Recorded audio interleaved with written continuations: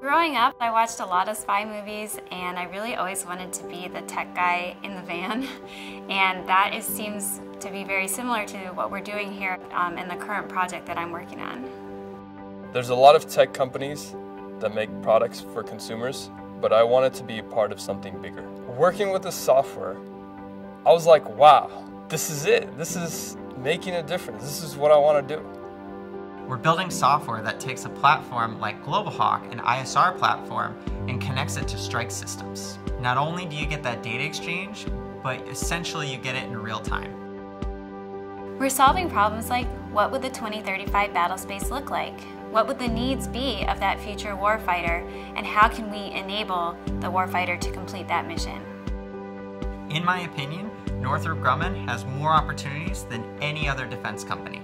My team is coming up with such amazing solutions. I mean, it's not even a competition.